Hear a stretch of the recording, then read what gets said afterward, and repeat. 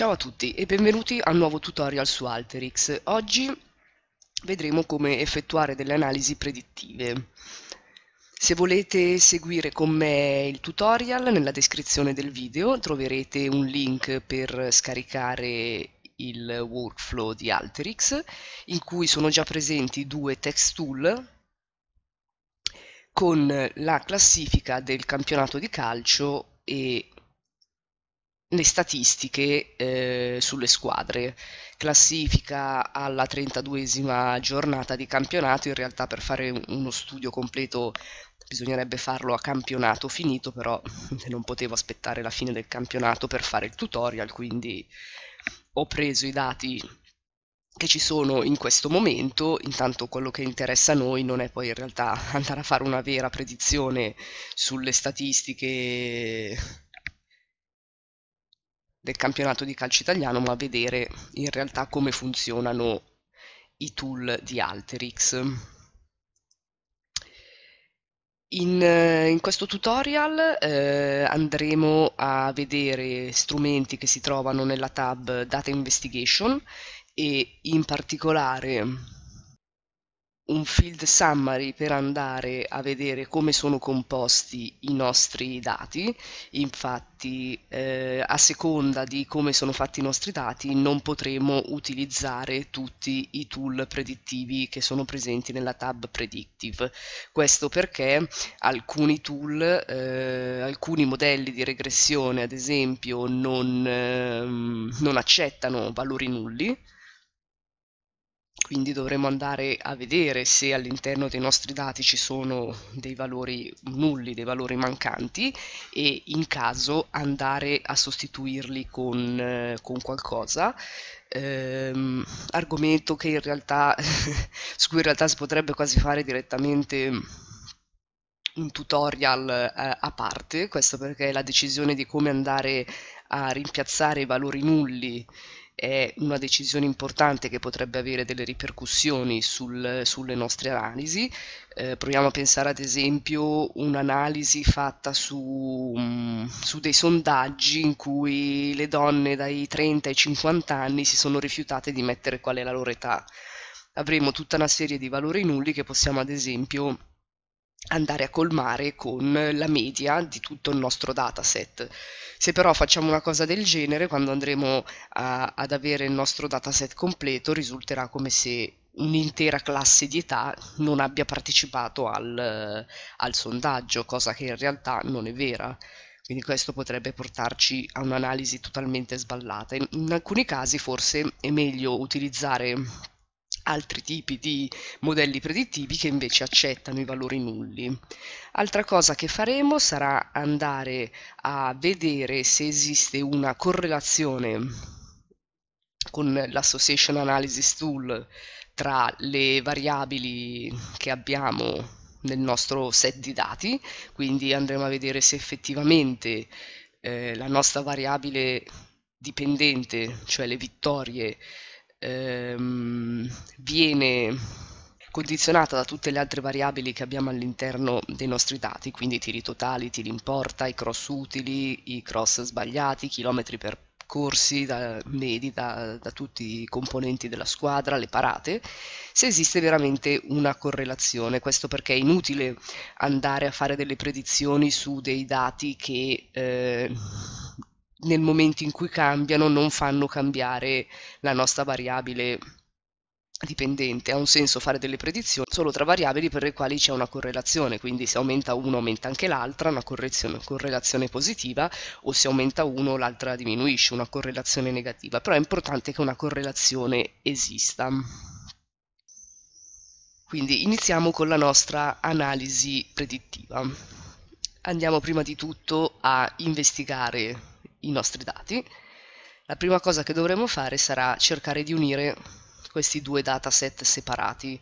Possiamo fare una join sul nome della squadra, ma già vediamo che nel file della classifica la squadra è scritta in minuscolo con la sola lettera iniziale maiuscolo, mentre nelle statistiche è scritta tutta maiuscola. Dovremmo rendere le due formattazioni uguali. Ora, Andiamo nella tab Preparation, se prendiamo un Formula Tool, lo trasciniamo davanti al file delle statistiche e trasformiamo in title case, quindi solo con la prima lettera maiuscola, eh, la squadra. Quindi selezioniamo la colonna della squadra perché vogliamo andare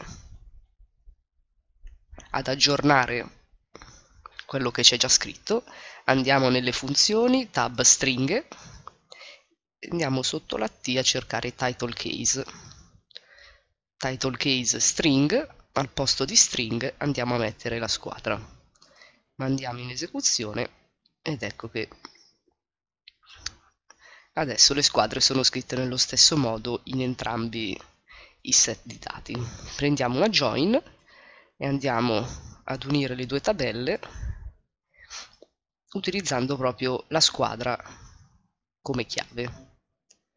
Nel left non abbiamo niente, nel right non abbiamo niente, ottimo, vuol dire che siamo riusciti a unire tutte, tutte le squadre, e nel connettore J abbiamo la nostra classifica a cui abbiamo aggiunto anche tutti i dati statistici sulle squadre. Possiamo nel, nel join tool possiamo andare a togliere la, la colonna right squadra perché è, è un doppione, non ci serve averla due volte. E adesso possiamo andare nel data investigation, prendere il tool field summary, connetterlo al connettore J della join, clic con il tasto destro sul tool e scegliamo di aggiungere tutti i browse. Selezioniamo tutte le nostre colonne e mandiamo in esecuzione. Nel primo connettore in uscita abbiamo dei grafici che ci fanno vedere com'è la dispersione, com'è l'andamento, la dispersione delle nostre variabili. Nel secondo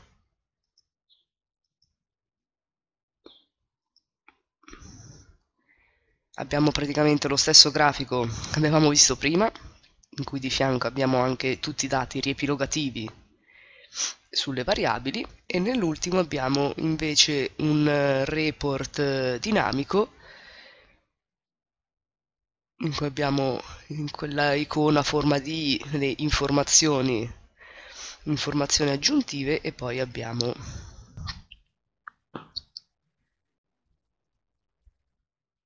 un grafico che ci mostra la frequenza dei dati.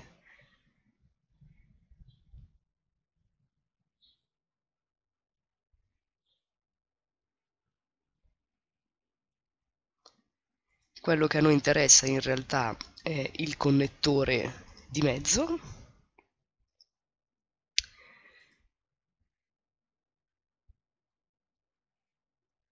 nella colonna missing percentuale vediamo che il nostro dataset è completo, non c'è non abbiamo valori nulli. Ci dà anche un'informazione su quanti sono i valori unici, quindi il conteggio distinto di ogni valore all'interno delle righe.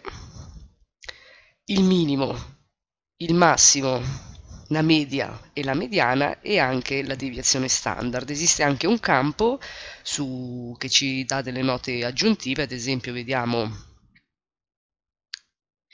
nel, se prendiamo la, la, variabile g le partite giocate, vedete che una, praticamente i pallini sono tutti sulla stessa riga, questo perché tutte le squadre hanno giocato 32 partite e il, la colonna dei remarks ci avvisa che questo campo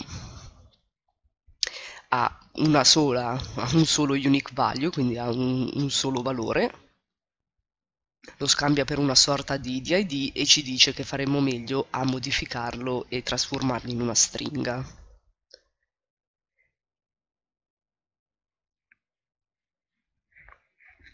Ora che ci siamo assicurati che non ci sono dei valori nulli, possiamo procedere all'analisi di correlazione. Andiamo a prendere il tool che si chiama Association Analysis, lo connettiamo al connettore J della join, andiamo a selezionare un target, quindi cosa vogliamo utilizzare come variabile dipendente e noi vogliamo utilizzare le vittorie. In caso si trattasse di, una, di un valore booleano, quindi categorico che può contenere un valore vero o falso, sì o no, o comunque soltanto, può assumere soltanto due valori. Nel text box qui sotto possiamo anche scrivere su quale dei due valori vogliamo effettuare la correlazione, quindi ad esempio stessimo studiando la partecipazione di un cliente a un'eventuale promozione, potremmo fare un'analisi di correlazione mirata direttamente alla partecipazione sì oppure alla partecipazione no. In questo caso noi non abbiamo un, eh, una variabile categorica e le variabili che vogliamo studiare, se è il caso di, di utilizzarle come variabili indipendenti, saranno. Sicuramente non le vittorie perché è già la nostra variabile, dipen- già la nostra variabile dipendente, quindi è inutile selezionarla perché la, la vittoria con la vittoria avrà sicuramente una correlazione perfettamente positiva. Andiamo a togliere anche, andiamo a togliere anche la classifica, i punti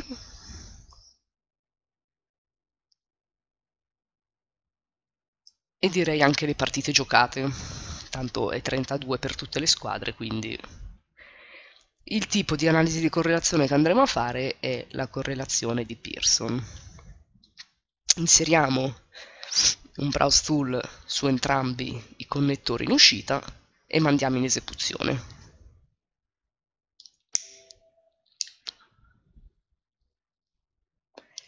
Nel connettore in basso abbiamo la matrice di correlazione. Vedete, abbiamo praticamente in ogni quadratino sull'asse verticale abbiamo tutte le nostre variabili, in ogni quadratino sull'asse orizzontale abbiamo di nuovo tutte le nostre variabili e andando a vedere nell'incrocio tra una e l'altra avremo la correlazione tra le due variabili che, fanno, che si trovano in quel punto. Nella diagonale centrale ovviamente abbiamo perfetta correlazione perché è dove la, la variabile si confronta con se stessa. Quadrato, quadratino rosso significa una correlazione positiva, quindi al crescere di uno cresce anche l'altra. Man mano che il rosso diventa sempre più sbiadito, la correlazione sarà sempre minore quadratino blu invece abbiamo una correlazione negativa, quindi all'aumentare di uno diminuisce l'altro. E anche qui, tanto più sarà scuro il colore, tanto maggiore sarà la correlazione, mentre via via andando verso colori più sbiaditi la correlazione sarà sempre minore, fino ad arrivare ai puntini bianchi o, o grigio chiaro in cui vedete i puntini all'interno del grafico non hanno un andamento lineare ma sono tutti sparpagliati all'interno della nostra matrice. L'output invece superiore ci dà proprio il risultato dello studio di correlazione in formato tabellare e la parte che a noi in realtà interessa è questa prima tabella in alto in cui abbiamo questo valore p-value che ci indica la correlazione tra, due, tra ogni singola variabile e, le, e la vittoria che abbiamo segnato essere la nostra variabile dipendente e il numero di asterischi che abbiamo qua di fianco ci il numero di asterischi che abbiamo qua di fianco ci, ci indica eh, la significatività del dato, quindi dove abbiamo tre, as- tre asterischi vuol dire che sono tutte variabili che hanno una correlazione con la vittoria, quindi possono essere utilizzate all'interno del nostro, del nostro studio, dove di asterischi ne abbiamo uno addirittura zero, sono via via variabili che hanno una correlazione sempre minore. Ok, noi utilizzeremo le prime 5 variabili che hanno una significatività alta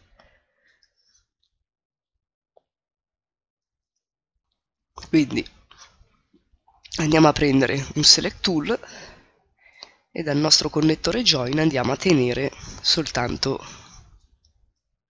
le variabili che abbiamo appena scoperto.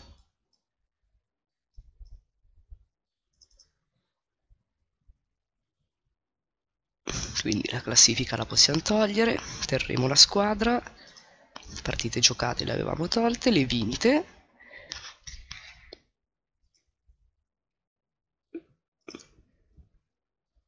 PRSRF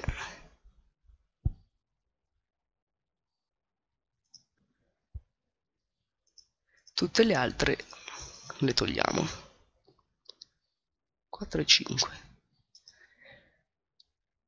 ok siamo pronti per andare invece a studiare i modelli predittivi andremo a utilizzare tre diversi modelli e di questi tre vedremo qual è quello più, più adatto, quello che ci dà la predizione diciamo meno, mm, meno avventata, meno sbagliata. I modelli che abbiamo deciso di utilizzare sono la regressione lineare,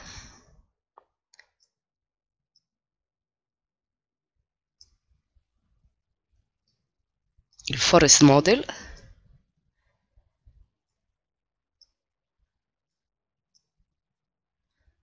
e l'S-P-Line.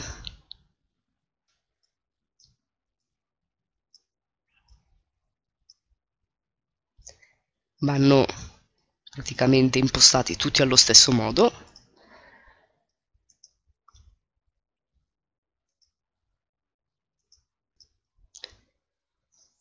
Vediamo che ad esempio la regressione lineare ci, in questo momento vede soltanto i tiri totali, se torniamo nel select andiamo a vedere. Non è capace di prendere i valori in byte quindi tutti questi valori byte dobbiamo in realtà trasformarli in integer dimensione 16 in questo modo verranno letti dalla regressione lineare la nostra target, la variabile dipendente sarà la vittoria, quella indipendente tutti tranne la vittoria e la squadra, stessa cosa per il secondo modello,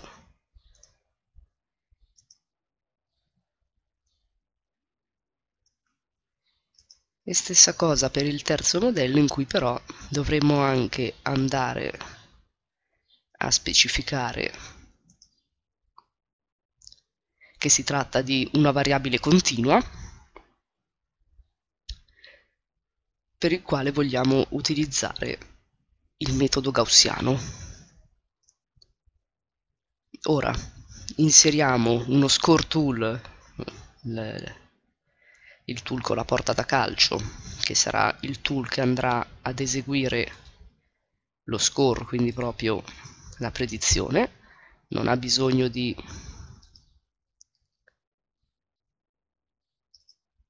nessuna configurazione.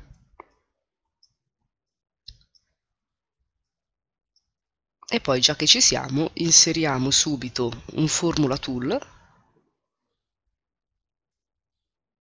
dopo ogni score creando un'etichetta con il nome del modello quindi tipologia stringa.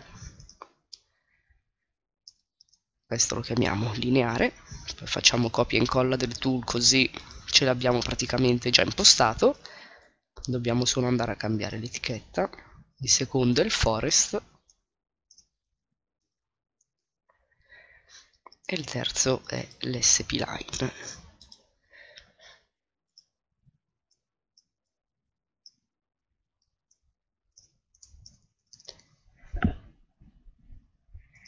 poi mettiamo un union tool per andare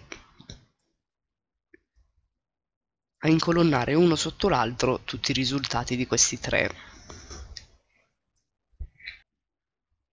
Questi tre modelli.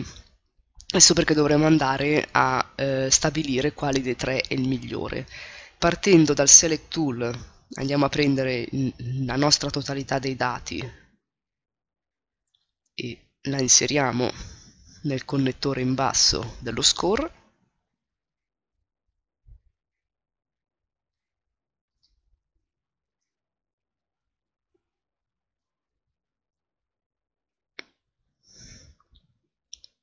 e mandiamo in esecuzione.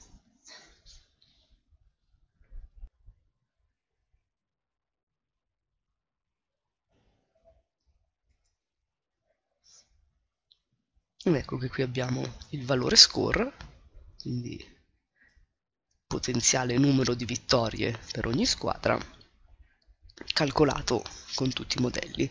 Quello che ora dobbiamo andare a fare è calcolare lo scarto quadratico medio per vedere eh, qual è eh, il modello che ci dà un errore minore rispetto agli altri quindi stabilire qual è il migliore lo scarto quadratico medio è dato dalla sommatoria della differenza tra predetti, i valori predetti e i valori reali tutti elevati al quadrato fratto la sommatoria dei valori veri. Quindi dovremo andare a ricreare questa operazione con i tool a disposizione che abbiamo a disposizione, che Alteryx ci mette a disposizione. Prendiamo un formula tool creiamo una nuova colonna che si chiama scarto quadratico. Andiamo nelle funzioni matematiche e cerchiamo l'elevamento a potenza. POV x e. Cosa vogliamo elevare a potenza? la differenza tra il valore reale la V di vittoria meno lo score, la predizione della vittoria fatta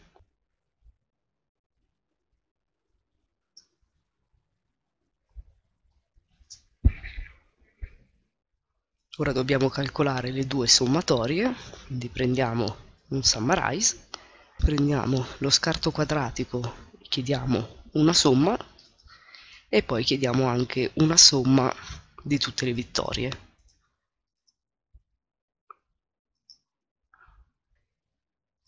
Raggruppato per modello quindi per ogni, per ogni modello avremo la sommatoria degli scarti quadratici e la sommatoria dei valori reali.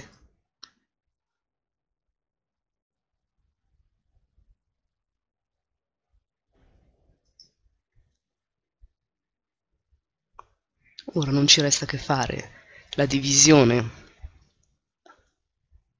tra i due valori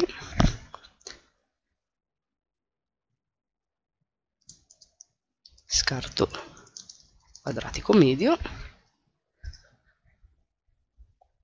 sommatoria degli scarti al quadrato fratto la sommatoria di tutte le vittorie. E già che ci siamo prendiamo un sort tool e mettiamo i dati in base allo scarto quadratico medio ascending così vedremo qual è quello con lo scarto minore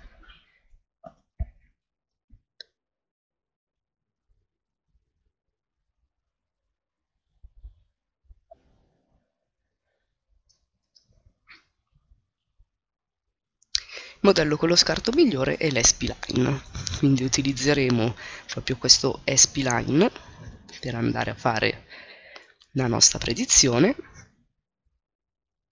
Prendiamo un sort tool lo connettiamo allo score mettiamo i dati in ordine decrescente in base alle vittorie